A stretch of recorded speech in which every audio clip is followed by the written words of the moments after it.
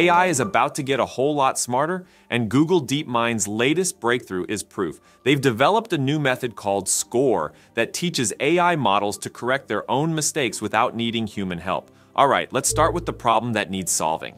When LLMs make errors, they often lack the mechanisms to realize their own mistakes and revise them in a meaningful way.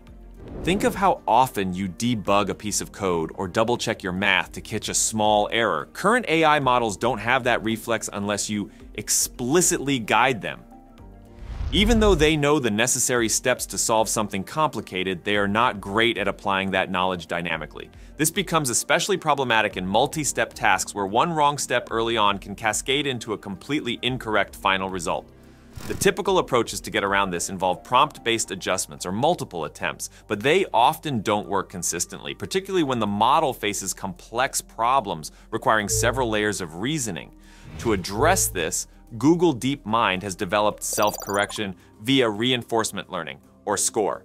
It's a novel method that allows AI models to self-correct, learning from their own errors and improving over multiple attempts. What's innovative here is that it doesn't rely on supervised methods, which typically require lots of external data or another model to act as a verifier. Instead, SCORE teaches the model to correct its own mistakes through reinforcement learning using self-generated data. This shift is significant because it reduces dependency on external systems or human oversight, which is both computationally expensive and not always scalable. Before SCORE, LLMs often needed supervised fine-tuning, which involves training them to recognize and fix mistakes based on historical data. The problem with that approach is that it tends to amplify existing biases from the original training dataset, causing models to make shallow or ineffective corrections. Another method, which involves running a second model to verify the output of the first, is simply too resource intensive for most practical applications. Plus, when the data the model is trained on doesn't quite match real-world scenarios, things can fall apart quickly. SCORE breaks away from that by introducing a two-stage training process. In the first stage, the model is taught to generate meaningful corrections without getting stuck on minor edits that don't really change the outcome. It's crucial because in many other approaches, AI models only tweak small parts of an answer instead of addressing the underlying issue. SCORE's first stage builds a robust correction strategy so that when the model identifies a problem in its response, it can make substantial changes instead of just glossing over it. Then comes the second stage, which uses multi-turn reinforcement learning. This phase rewards the model for making better corrections on each successive attempt. The idea is that with each pass, the model should learn to improve the accuracy of its response. By shaping the reward system correctly, Google DeepMind has made it so the model is rewarded for improving the overall accuracy rather than just making minimal changes. This leads to a much more efficient correction process.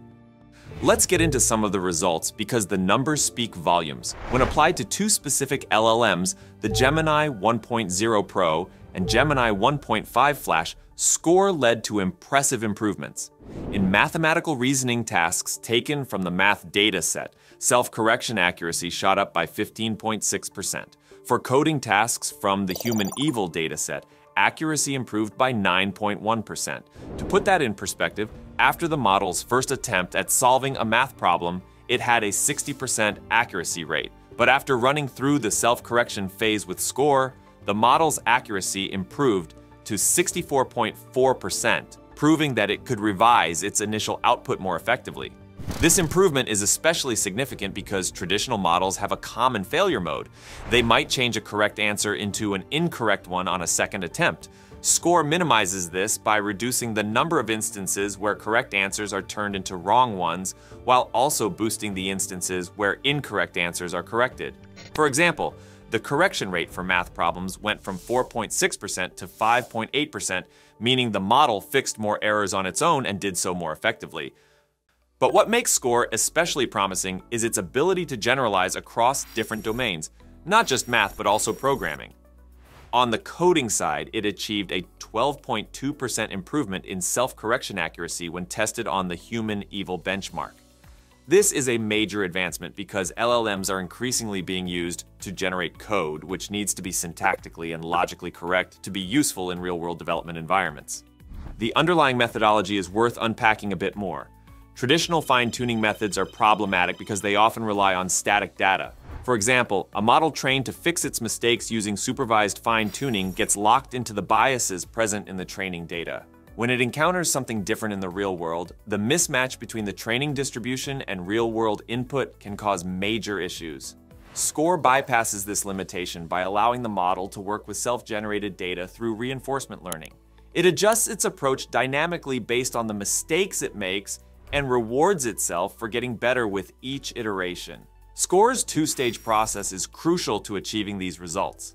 During the initialization training, the model focuses on learning a correction strategy without collapsing into minor inconsequential edits. The second stage of reinforcement learning then focuses on optimizing the model's self-correction in a multi-turn setting, where the model learns from its earlier responses to fine-tune its future attempts. The reward system is carefully shaped to ensure the model doesn't just make small tweaks, but instead aims for higher accuracy in subsequent corrections. Let's zoom in on the reinforcement learning aspect. The process involves something called reward shaping, where the model is guided towards making more meaningful changes instead of just adjusting small details. This is critical because one of the pitfalls of self-correction methods is that models tend to gravitate towards minimal edits that don't really improve the final outcome. Reward shaping nudges the model to aim higher, focusing on correcting the core problem instead of settling for superficial fixes. Another key point is that SCORE is not just improving the performance on the first attempt, but also ensuring that the model gets better on the second pass. In their tests, Google DeepMind found that the model's self-correction ability improved not just in accuracy, but also in how efficiently it corrected errors without making things worse. This was achieved by minimizing the number of correct responses that were mistakenly changed to incorrect ones during the second attempt, a common problem in other methods. The research also took a close look at the edit distance ratios, basically how much the model's second response differed from the first. They found that models trained with traditional methods tended to play it safe, making minor adjustments and sticking close to the initial answer. But with SCORE, the AI was more willing to make substantial edits when necessary, which is key to meaningful self-correction. This ability to make larger, more impactful changes without collapsing into minor edits is what sets SCORE apart from earlier methods. The broader implications of SCORE go beyond just improving self-correction. What Google DeepMind has essentially done is lay the groundwork for AI models that can independently improve their performance in real-world applications without needing constant oversight or retraining. This is especially valuable in fields like software development, where the ability to self-correct code generation could make AI much more reliable for developers. It could also have a huge impact in areas like automated scientific research, financial modeling, or even education, where models need to handle complex, multi-step reasoning tasks reliably. Looking ahead, one of the potential next steps for SCORE would be extending it to more than two rounds of correction, which could further enhance the model's ability to handle really tricky problems.